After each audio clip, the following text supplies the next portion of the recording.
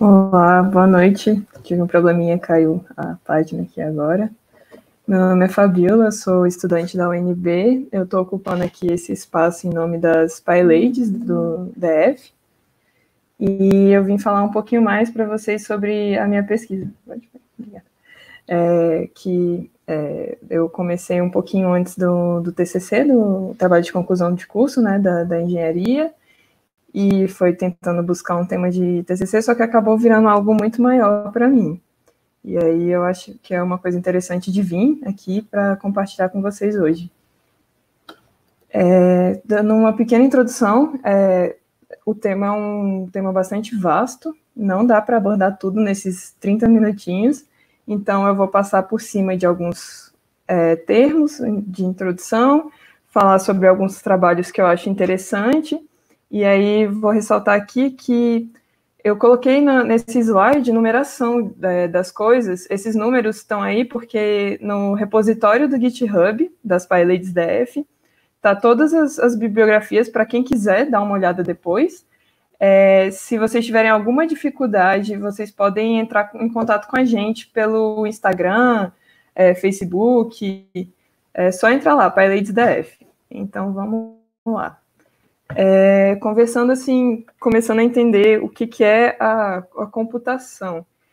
Muita gente acha, e é uma coisa que também é espalhada assim na, na, na literatura, que computação é você junta a engenharia com a matemática e ali está tudo resolvido, né? Que tem aquela parte de cálculos, lógica, e aí você precisa também da parte da engenharia, tanto para você pensar na parte do hardware, a parte física do computador, mas também para a parte de gestão, né?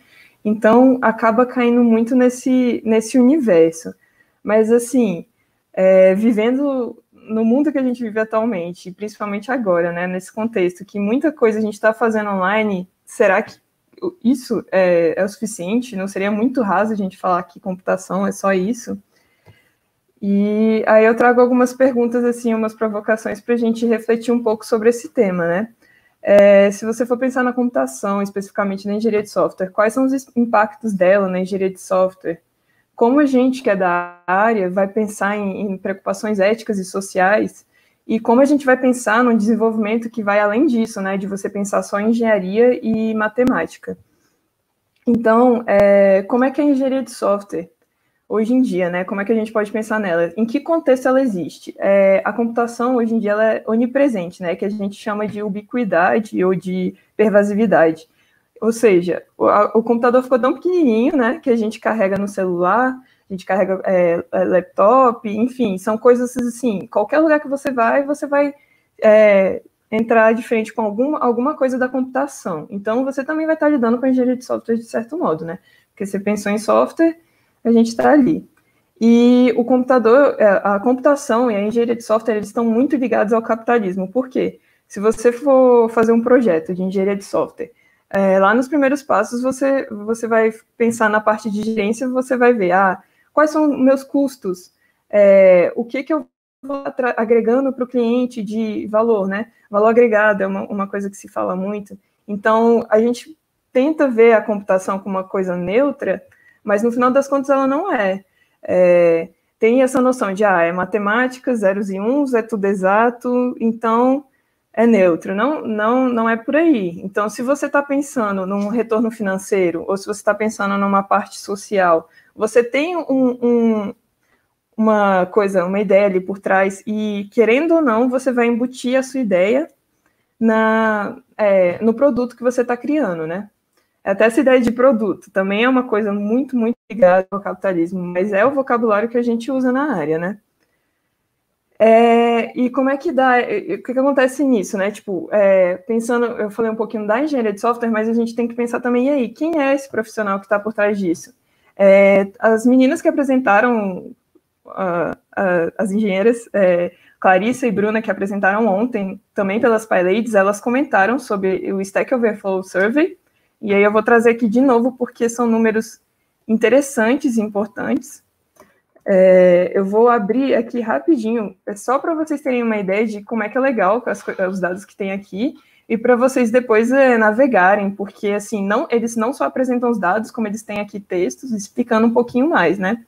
E aí, só para a gente ver, é, aqui uma pergunta no que foram quase é, 46 mil desenvolvedores que responderam, né?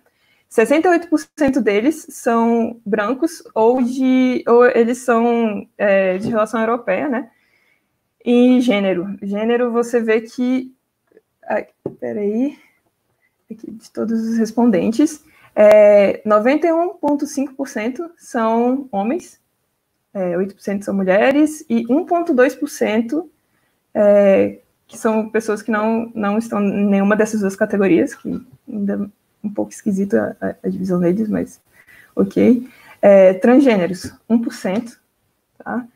É, e aqui tem outros dados muito legais de, de, ver, eu não, vou, eu não vou entrar em detalhes, que é a questão de é, cargos e proporção de gênero. Então, assim, é, só para dar um exemplo aqui, em DevOps, é 25 vezes mais homens, assim, mais do que isso, né?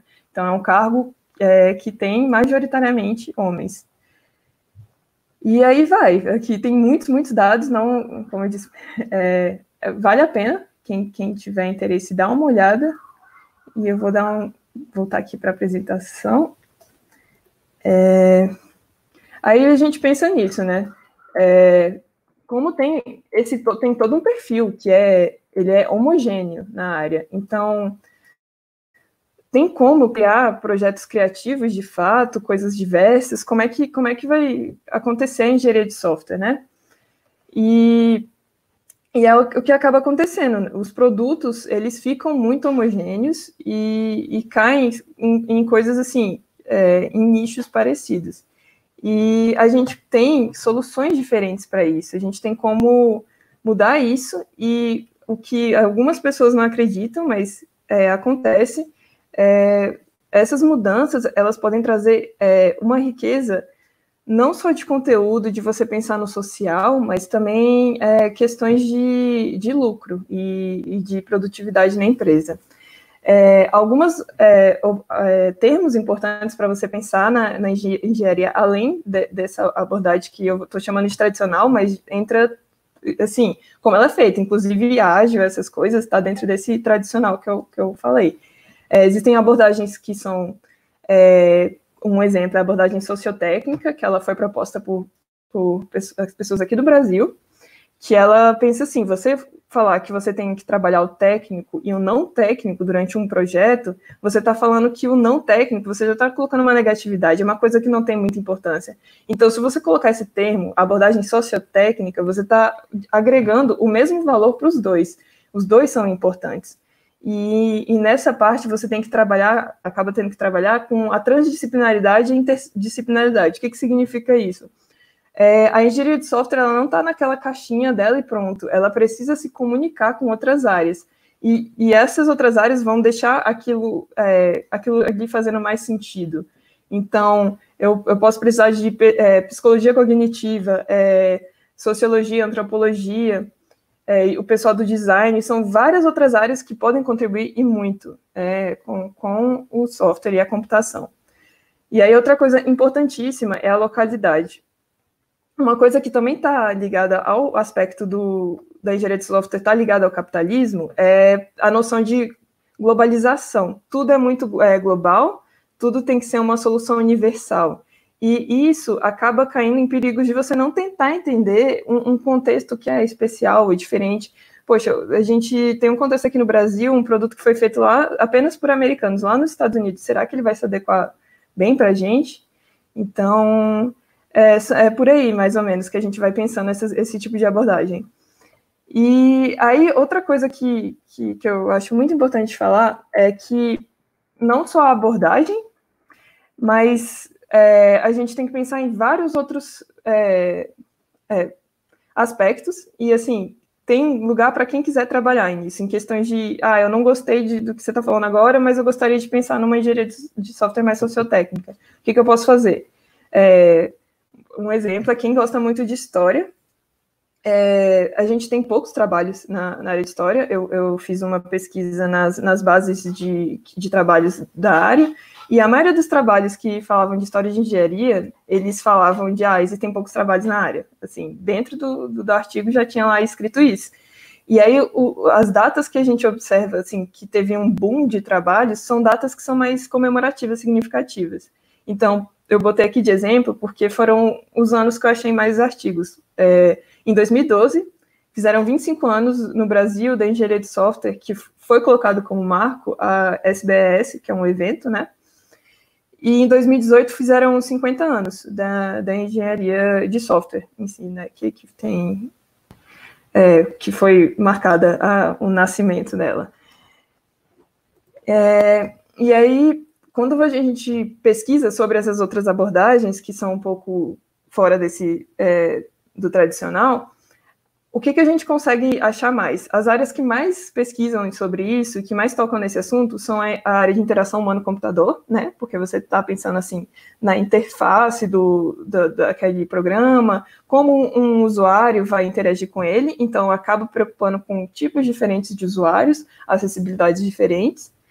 E também na área de requisitos, porque às vezes você você tá, é, você levanta requisitos e existem abordagens para isso, como design thinking, user experience and design, assim, assim algumas é, abordagens que você está centrando mais ali no usuário. Então, esse tipo de é, essas disciplinas da engenharia de software, elas acabaram por puxar mais esse lado social, por elas terem um contato maior com o usuário. Isso não quer dizer que a gente consiga, a gente tenha que se fechar só nelas, tá? É, a gente pode conseguir colocar abordagem é, na engenharia de software em si, e não só em disciplinas. E aí eu coloquei aqui que são termos que acabam caindo muito também nessa área, é sobre o feminismo e a interseccionalidade. Isso principalmente em HC, mas dá para, por exemplo, a interseccionalidade dá para a gente pensar numa, numa equipe é, interseccional de desenvolvedores, porque aí você consegue uma equipe mais, com uma equipe mais diversa, ter uma equipe mais criativa, é, você acaba testando mais aquela ideia, porque você coloca mais ela à prova, já que pessoas com ideias diferentes elas vão criar um debate, vai virar uma coisa mais rica. E aí, assim, um parênteses, porque eu não expliquei. o que é a interseccionalidade? Ela é um termo que, que surgiu do feminismo, foi uma pesquisadora negra que criou ela, esse termo para como uma crítica, porque tanto no, no movimento feminismo, feminista quanto no, na questão racial, a mulher negra costumava ficar de lado.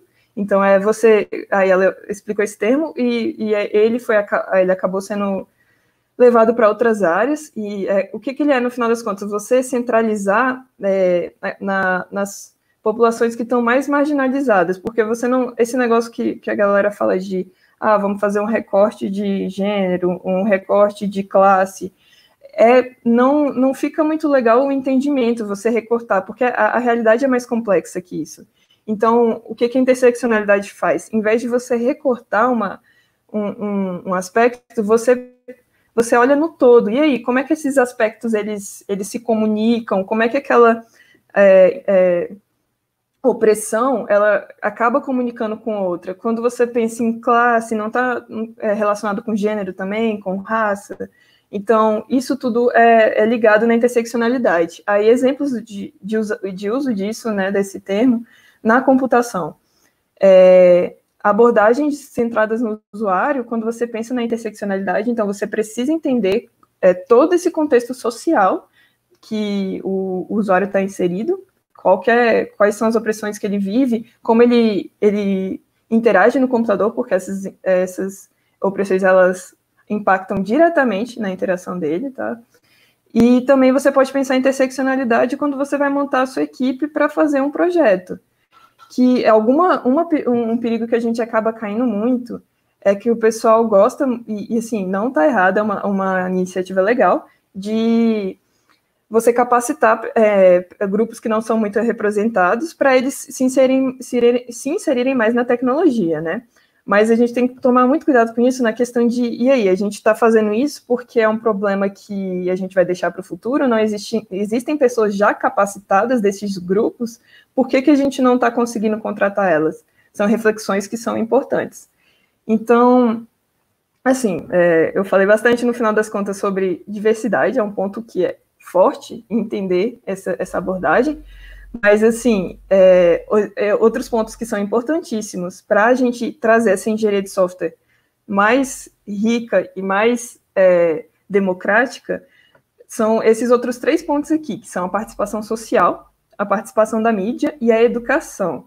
Então, assim, eu falei, né, do tem um aspecto histórico, se você quiser estudar história, você vai estar contribuindo muito, porque entender história é importantíssimo para isso. Se você quer é, ser engajado na sociedade e, em projetos sociais, assim, é legal. Se você quer mexer em mídia ou na área de educação, também são é, áreas maravilhosas para você mexer isso. Eu vou falar até um pouquinho mais no, no, próximo slide, porque tem exemplos de projetos que eu acho que é mais interessante falar. E aí eu vou dar um exemplo aqui, e eu vou. Tem um linkzinho aqui, eu não, eu não vou clicar nele, mas assim, também está lá no, no GitHub para vocês verem sobre uma plataforma que eu acabei encontrando essa, esse, esse texto junto com a minha amiga Marina, que a gente faz TCC junto, e eu achei muito interessante e contundente com o que, que eu, eu trouxe nessa apresentação, que é uma reportagem falando do Yelp, é uma ferramenta para você que tem os lugares e você dá a review, você dá a sua avaliação, né, as estrelas, enfim. E aí lá tem tem várias é, é, são várias funcionalidades que tem lá. Né? E uma das funcionalidades que saiu é, foi que para marcar os lugares que tinham Pokéstop ou não. Tipo, ah, aquele restaurante ali tem uma Pokéstop. Depois disso, só depois disso, que veio uma usabilidade para marcar. Oi. É, desculpa. É, que veio uma usabilidade para marcar quais eram os banheiros seguros para pessoas trans sendo que existia uma, uma ferramenta já há muitos anos é, online que foi feito por pessoas trans para marcar lugares. E aí, esse lugar tem, tem é, um banheiro seguro, um banheiro que é neutro. E aí ficou é, até questionado nessa reportagem, quando o Yelp, depois de a gente ver tipo, qual que foi a priorização de requisitos deles, né? O, o Apokestop veio primeiro. E questão de, e aí, quando eles colocaram essa, essa, essa nova funcionalidade, eles chamaram pessoas trans no pro projeto? Assim, eu não sei, beleza? Eu estou só colocando, assim, questões que são importantes da gente colocar. E aí, é, e como é que essas pessoas se sentiram quando colocou? Elas estão conseguindo usar? Como é que, que tá agora, né? É só um exemplo, mas, assim, desse tipo de exemplo tem vários. Se, se sobrar um tempinho, eu até dou, dou outro que eu gosto bastante. É, e aqui são alguns outros exemplos de abordagem. É, esse livro aqui, esse primeiro, é Comunidades, Algoritmos e Ativismos Digitais, Olhares Afrodiaspóricos, é um livro organizado pelo Tarcísio Silva. Ele está disponível online, o PDF é gratuito, mas também tem como comprar, o link está aí nesse, no nosso repositório. E ele é um, um bom exemplo de entender que, assim, as abordagens que existem, Scrum, essas abordagens, as RUP, que sejam as mais antigas, as mais novas, elas todas estão muito centradas numa visão que é, é eurocêntrica, uma visão colonizadora. Então, existem é, outras abordagens que vêm, assim, pensando no, na parte decolonial, isso aí, é, elas são importantíssimas. Então, assim, não somos obrigados todos a usar o Scrum é, à risca, porque é universal e que vai dar certo. Para o seu contexto, às vezes, não é, não é o que está acontecendo ali. E eles também falam sobre algumas outras coisas, como é, racismo digital, como rola um ativismo, como as redes, que, que é, muitas vezes elas são usadas para coisas ruins, mas também estão sendo utilizadas para organizações é, de ativismo, né? Como eles estão criando redes de apoio, é, enfim, são muitos artigos, são todos muito interessantes, recomendo muitíssimo essa leitura. É, o outro trabalho ali, computação sem caô, ele é importante porque eu falei aqui no slide passado da educação. Então é outro ponto. Computação sem caô é um, um trabalho que foi feito pela Ana Carolina. E aí é, também tem o link lá, tem os vídeos no YouTube. Qual que, qual que foi a, o, o o legal eh, desse trabalho é a, democratização do conhecimento sobre computação. Porque não adianta nada a gente fazer um software, falar que uma inteligência artificial, uma coisa assim, omnisciente, uma coisa da além, tá, tá mexendo ali, se a pessoa não sabe como como está acontecendo com os dados dela, o que está acontecendo, é, se ela não entende é, o vocabulário que a gente usa, é, é, importante muitíssimo a gente fazer essa democratização para a pessoa, na hora que ela vai usar um software, ela ter escolha do que ela está fazendo ali e uma escolha consciente. Se a gente ficar usando palavra rebuscada e ficar usando o jargão da, da nossa profissão, a gente está se fechando muito, e eu acho que a gente está perdendo isso e, a, e a, a, sociedade em geral acaba perdendo, né? E aqui outro, outro texto que, que eu acho legal é o Design Justice, da Sasha Costanza. Ela escreve também falando um pouco sobre uma abordagem interseccional, é, sobre justiça social, é, voltada para você fazer o design de produtos pensando na justiça social, e pensando em, em, grupos que não são muito bem representados também. Então, colocar protagonismo na mão de quem não tem atualmente, né, nesse contexto que estamos. E é isso. Muitíssimo obrigada, gente. Esses são os dados. Se alguém tiver uma dúvida, pode falar. Eu tenho outro exemplinho para falar se, se não tiver muitas dúvidas. É, eu vou falando aqui o exemplo, aí se alguém tiver é, que fala, ou tiver alguma dúvida, pode falar, galera. É, a Bruna fez um comentário. Sim. É, é, isso, vamos fazer software para todos. É, outro, outro exemplo que eu queria dar, e que também está lá na, nas leituras, é sobre a uberização de serviços. É, a gente tem falado muito sobre isso, até porque aconteceu, né, a greve dos, dos entregadores, né, dia primeiro, e é um exemplo bem claro de que de um produto que você pensou, mas você não pensou em todos os usuários. Você está pensando na pessoa que vai receber, né, o, a entrega, mas você não está pensando no entregador. É, um, um, uma pergunta é, do tema do TCC. Então, é, o meu tema do TCC era sobre um pouco desse, desse tema de, da uberização, mas eu acabei me juntando ao trabalho da Marina, que é que eu não sei se eu posso dar spoilers, então a gente fala um pouquinho sobre isso, sobre inclusão, mas não exatamente, porque isso aqui que eu estou falando para vocês é muito geral, é um contexto mais específico.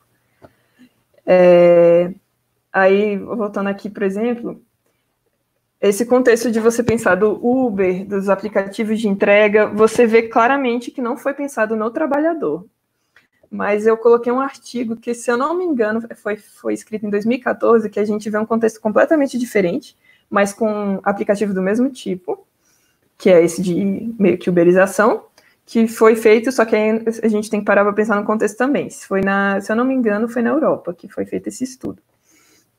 E as pessoas que, os prestadores de serviço, eles se sentiam muito satisfeitos, porque é, era uma plataforma para é, falar sobre é, uma plataforma para é, cuidadores e babás e pessoas com esse tipo de serviço é, poderem conseguir, né, prestar o serviço delas. E o que foi interessante? As pessoas elas estavam gostando de usar aquilo porque não existia uma regularização Assim, não existia uma leis trabalhistas que abarcavam essas pessoas. Era um trabalho extremamente informal e elas, com aquela plataforma que elas foram colocadas de forma protagonizada, elas conseguiram encontrar uma forma de formalizar o trabalho delas.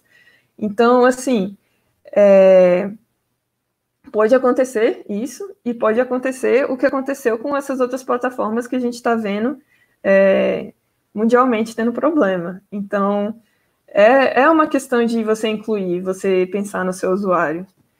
E é por isso que é muito importante essa, essa abordagem. É, é isso, gente. Se alguém tiver mais dúvidas, ainda temos alguns minutinhos.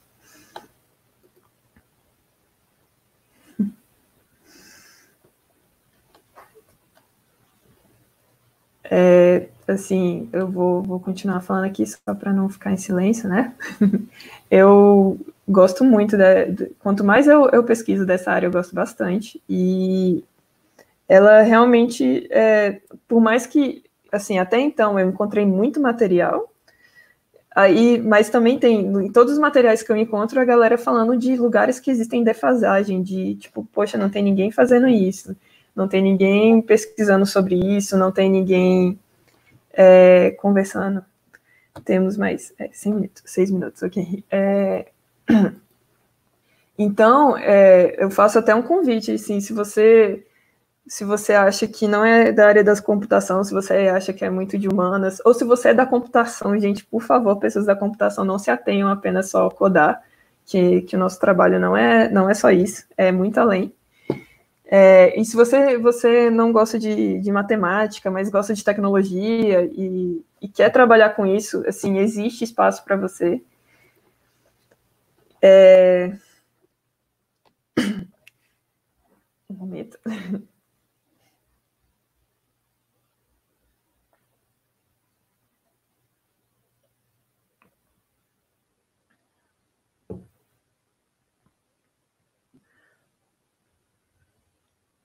Tá, o Wilson, Wilson perguntou aqui se que, que, na faculdade dele tem as pessoas têm preconceito com a área e por que, que acho que isso ocorre.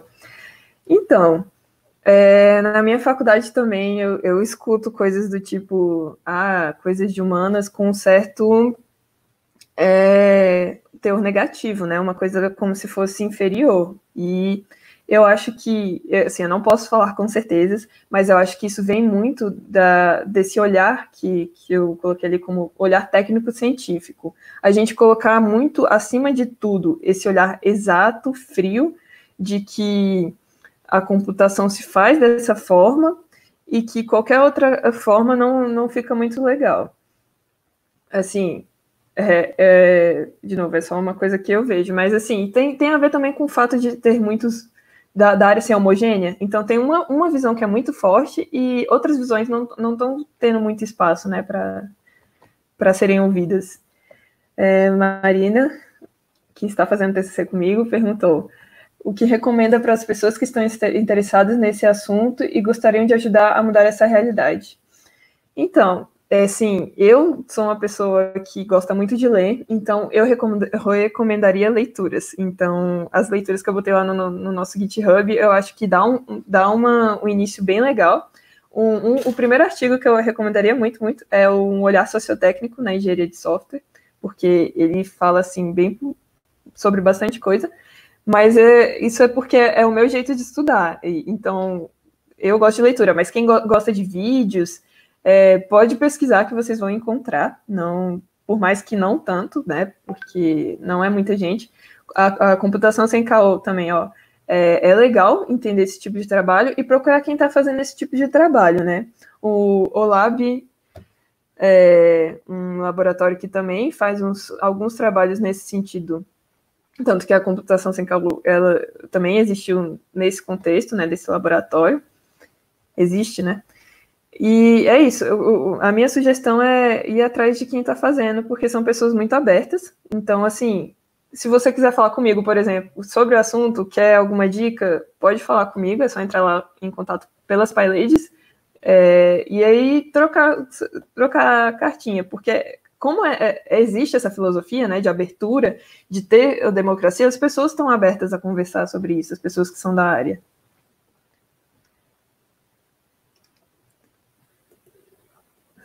É isso.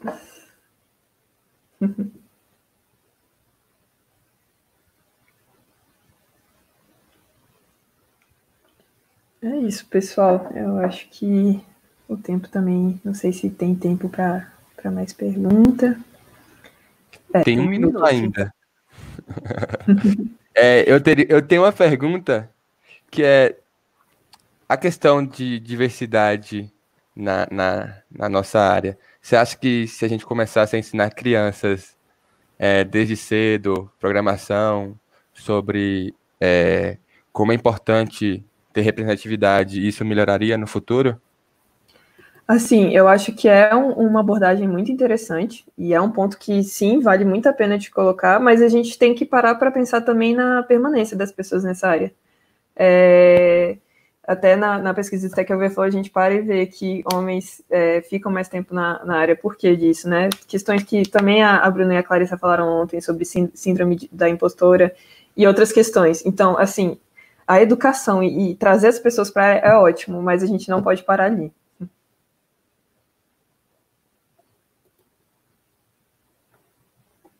É isso.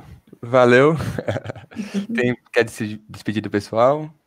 Sim, pessoal, muito obrigada por esse espaço. Não esqueçam de seguir a gente nas redes. E é isso. Boa noite.